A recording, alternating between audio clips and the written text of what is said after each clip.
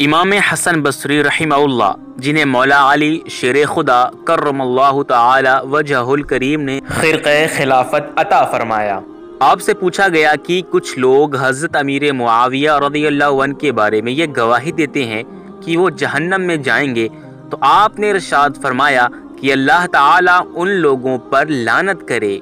پتہ چلا کہ حضرت امیر معاویہ رضی اللہ عنہ ہرگز معاذ اللہ جہنمی نہیں بلکہ جو ایسا بولے اور یہ عقیدہ رکھے اس پر اللہ تعالی کی لانت ہو۔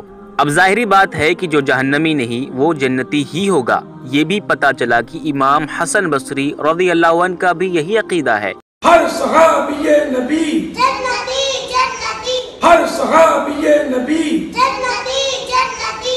اگر ان کے دل میں سیدنا معاویہ رضی اللہ عنہ کے بارے میں ذرا سا بھی کچھ ہوتا تو آپ خاموشی فرماتے یا کچھ اور جواب عنایت فرما دیتے۔ آپ کا ایسے عقائد رکھنے والوں پر لانت فرمانا اس بات کی کھلی دلیل ہے کہ صحابہ کرام کے آپسی مشاجرات و منازعات کوئی عام مسائل نہیں ہیں جن پر ہر ایرا غیرہ عدالت لگا کر فیصلہ کرتا پھرے۔ وہ سب نبی پاک صلی اللہ علیہ وسلم کے غلام ہیں اور اپنے رب کے نیک بندے۔ ہم کیوں کچھ غلط بول کر ہوں گندے؟ اللہ تعالی ہمیں تمام آل و اصحاب نبی صلی اللہ علیہ وسلم کو محب اور ادب کرنے والا بنائے۔ آمین۔